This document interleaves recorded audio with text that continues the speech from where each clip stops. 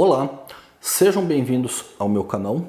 Meu nome é Sérgio Nogueira e eu sou o criador das técnicas especiais de radiestesia aplicada. Uma formação de radiestesia completa para você.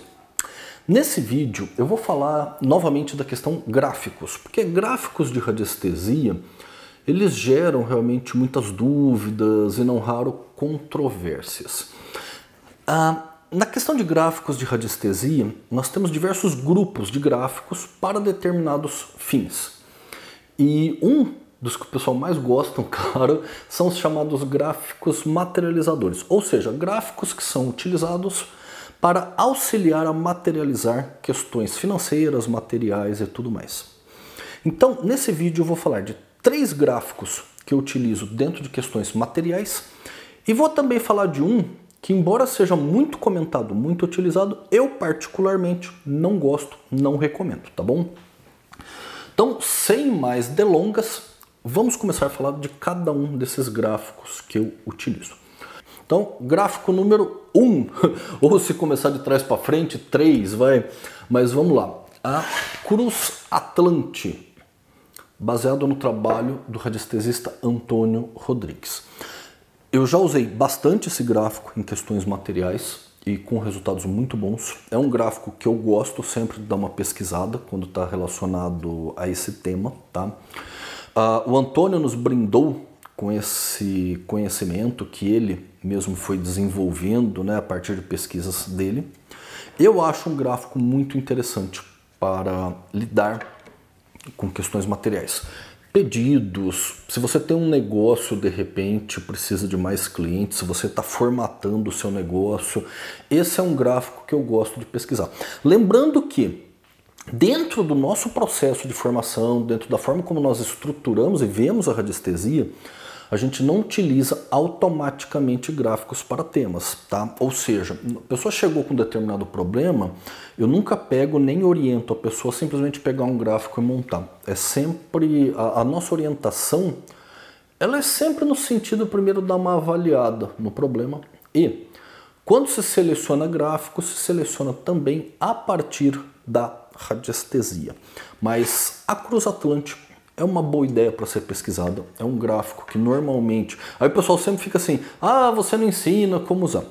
A questão é que é, gráficos, veja, não adianta pegar muita instrução somente pela internet e querer é, ter muito sucesso, porque não funciona bem assim. Mas, basicamente, o pessoal coloca o testemunho, o perdão, perdão, perdão, ah, coloca o comando do que se quer materializar aqui no centro do gráfico, testemunho uh, coloca no sentido norte-sul, é o que se costuma utilizar. Tem formas mais interessantes para se trabalhar com gráficos materializadores, tá bom? Mas essa é uma opção, é, ela é pouco utilizada até, mas é uma opção que eu gosto bastante. Eu vou mostrar agora para vocês aqui um segundo gráfico. Ele é pouco utilizado, eu fui uma das primeiras pessoas a começar a realmente falar desse gráfico aqui no Brasil e é um gráfico conhecido como sorte-sucesso. Né? Ele é dos irmãos Cervranques. Então, esse gráfico eu acho ele bastante interessante também. Ele é para materialização, mas ao contrário da maioria dos outros gráficos, o sorte-sucesso ele não é focado tanto em pedidos para se materializar algo. Normalmente se utiliza só o testemunho da pessoa e ele é focado para atrair melhores oportunidades para a pessoa, porque tem um componente de você atrair de repente as oportunidades. É um gráfico que eu acho bastante interessante também dentro do campo material, até porque uma das premissas que nós utilizamos muito nas nossas formações que estão relacionadas a questões financeiras, como o método Vortex de radiestesia, é justamente a ideia de muitas vezes você trabalhar sem um objetivo específico, deixando com que o próprio trabalho vá formatando o resultado, que eu acho que é muito interessante muitas vezes. Então, sorte e sucesso é um gráfico que eu utilizo bastante, gosto bastante. Os irmãos Cervranques, inclusive, eles tinham um carinho muito especial pela utilização desse gráfico aqui. Então, esse seria o segundo gráfico que eu uso com bastante constância. E em primeiro lugar, não sei se eu não gosto de colocar muito a ideia do primeiro lugar, porque gera a ideia equivocada que seria o melhor de todos. Não é, mas é um gráfico que realmente eu tenho um carinho muito grande. Ele também é mais conhecido, que é turbilhão. O gráfico de radiestesia conhecido como turbilhão ele eu utilizo bastante também dentro dessas questões financeiras, profissionais, desde para auxiliar pessoas a encontrar emprego, auxiliar de repente a materializar determinados objetivos. Eu acho um gráfico muito interessante, tem muita instrução sobre como montar ele em diversos lugares, tem várias formas de montar esse gráfico. Como eu sempre digo, não, fico, não recomendo mesmo simplesmente pegar receita pronta pela internet, mas Cada um é cada um. Se você é, achar melhor, sinta-se à vontade. Porque às vezes eu falo porque tem um pessoal que às vezes fica querendo discutir comigo, né?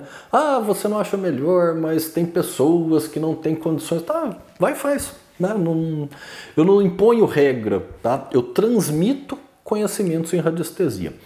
Ah, turbilhão é muito fácil também ser encontrado pela internet, o difícil é ser encontrado correto. A maioria daquilo que a gente vê para baixar na internet está mal desenhado e perde boa parte de suas características. Mas o turbilhão é um gráfico que eu recomendo bastante para questões materiais. É um gráfico que, como eu pendulo sempre para escolher um gráfico para cada caso, curiosamente o turbilhão ele está sempre entre os mais escolhidos mesmo. Aliás, esses daqui eles saem com bastante constância. Até por isso que eu falei, três são os três que eu mais utilizo, porque realmente tem esse componente. Ah, agora eu vou falar daquele que eu não uso, que muita gente fala muito, eu não uso. E aí é um problema porque eu não tenho mais ele. Inclusive, eu já tive, acabei jogando fora, essa é a grande verdade. Mas é um gráfico conhecido como prosperador. Eu vou deixar uma imagem por aqui em algum lugar. Prosperador é um gráfico que eu já usei, não vi resultado, não recomendo. Ah, e assim, quando eu falo ver resultado, acaba que tem gente que chega aqui e fala assim: ah, mas eu usei uma vez e tive resultado. Conheço alguém que usou e teve resultado. Ó, quando eu falo ter resultados, normalmente eu me refiro a resultados sequenciais, vários casos. Esses daqui que eu coloquei são gráficos que eu vi resultados de forma muito repetitiva, tá acima do que eu poderia considerar, no caso, coincidência, tá? Prosperador, eu vou ser sincero, nunca vi muito resultado, tá? É, por padrão, eu já tenho uma resistência sim inicial a utilizar coisas que ah, em primeiro lugar, eu não sei bem de onde surgiram. Então, o primeiro problema com o prosperador, ninguém sabe dizer muito bem de onde que surgiu, quem que é o autor. Segundo problema que eu vejo no prosperador é que ele não é um gráfico de radiestesia. Repito, o prosperador não é um gráfico de radiestesia. Pode ser que hoje você encontre ele nesse formato, mas quando ele foi lançado, nem era a ideia. A ideia era ser um tipo um talismã pequenininho que você colocava na carteira tá? para dar sorte é, financeira. Essa questão de gráfico, de como gráfico de radiestesia, ela surgiu depois. E eu, sinceramente, não vi resultado nem de uma forma nem de outra. Então, apesar de ser um gráfico que você vai encontrar muita gente referenciando como um gráfico excelente e tudo mais, eu particularmente não recomendo. É, dentro do nosso todo o nosso processo formativo, nós não tendemos a usar mesmo é, é, símbolos né, no lugar de gráficos de radiestesia. Nós damos preferência a dispositivos que já foram criados dentro do conhecimento da radiestesia para serem utilizados como gráficos. Essa é a primeira questão. E, mas é claro, eu também tenho exceções. Porém, é, de uma maneira geral, é algo que eu não vi muito resultado. Se você gosta também, não tem problema nenhum, você não precisa ficar chateado por isso. Tem gente que às vezes fica chateado quando eu gosto ou não gosto de alguma coisa, certo? Se você acha que é mal, você pode até colocar aí no comentário. Se você usa de repente e vê bons resultados sequenciais, pode ser interessante até você participar, colocar aqui, tá bom? Bom, gente, então é isso. essas são minhas posições, é aquilo que eu tenho visto a partir da experiência. E aproveita, coloca aí nos comentários quais gráficos. Primeiro, você utiliza gráficos para materialização de objetivos? Se utiliza, quais gráficos que você costuma utilizar? Quais aqueles que você já viu resultado? Quais aqueles que você recomendaria para outras pessoas, tá bom? Então, esse vídeo vai ficando por aqui. Até o próximo vídeo.